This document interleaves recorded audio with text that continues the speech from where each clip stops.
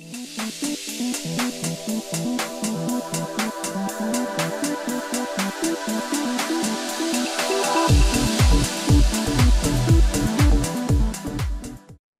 everybody. This is Mary Dooley from HCL Technologies. Did you know that you can use HCL Digital Experience from your Docker image?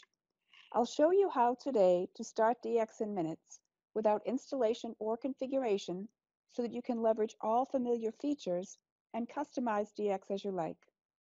We assume that Docker is installed, the HCL DX OpenShift v95 package has been downloaded, extracted, and the HCL DX Core image loaded into your environment.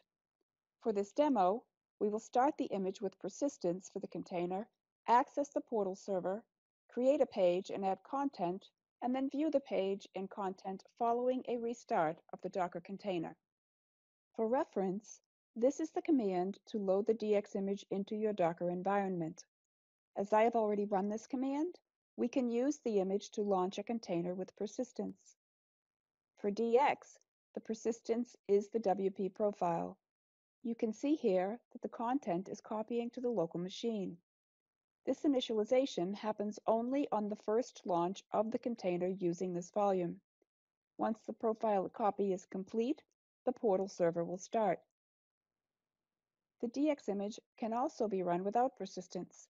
To do so, just omit the volume argument from the docker run command. Of course, changes made to an environment without persistence are lost when the container is stopped.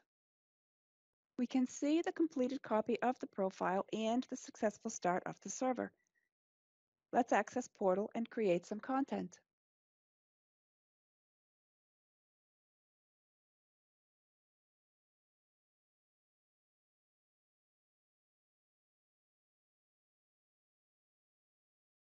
Using the DX Site Manager, Toolbar, and Edit mode, without navigating from our home page, we are creating a new basic page which inherits the theme of its parent and adding web content. In the interest of time, we will add a simple article, provide a title, and edit the contents so it contains an external link. There is, of course, much more that can be accomplished in the Site Manager, but for our purposes, we will keep it simple. Here is our new page with added content. Now we'll restart the container.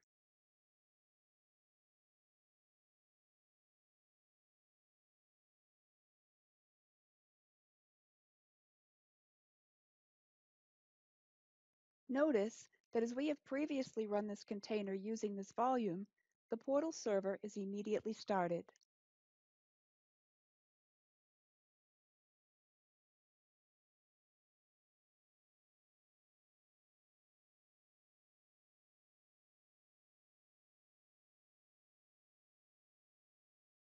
And again, here is our page with added content. Persisting through a container restart. I hope you have found this video helpful. Thanks for watching, and please check out the rest of the videos in this series.